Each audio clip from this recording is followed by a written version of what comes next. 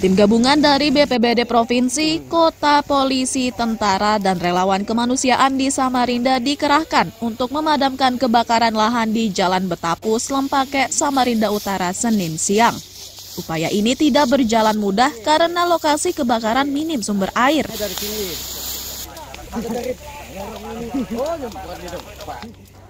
Kabit Kedaruratan dan Logistik BPBD Provinsi Kaltim, Rudi Safriadi menyatakan kebakaran lahan di Samarinda sepanjang Senin siang terjadi di beberapa lokasi.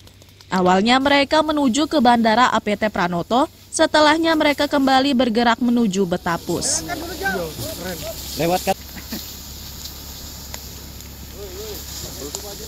Kami dalam rangka penanganan karhutla ini, tadinya kami memantau wilayah uh, Sungai Siring, tepatnya dekat Bandara APT Pranoto.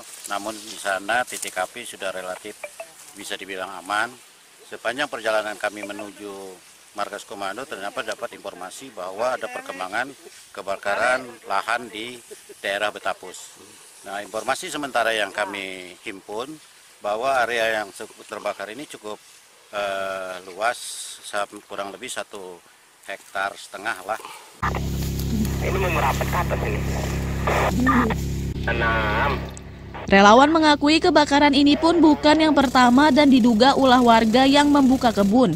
Itu dilakukan agar biaya membuka lahannya lebih murah.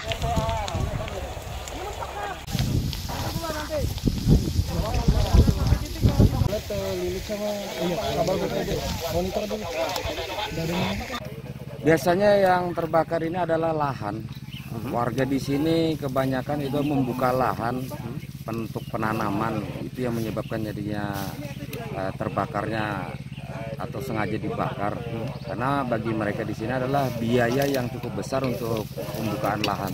Dengan dibakar maka lebih murah gitu ya? Nah, seperti itu oh. mereka. Bang ada kesulitan nggak saat teman-teman relawan melakukan pemadaman nih? Uh, kendalanya Medan sih. Medan ya? Kendalanya di jalan.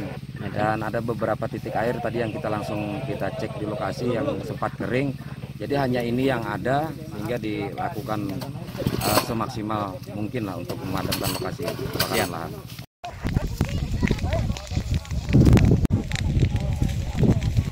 Lebih dari empat lokasi kebakaran lahan yang ditangani petugas dan relawan sepanjang Senin siang. Terluas lahan yang terbakar ini mencapai 1,5 hektar.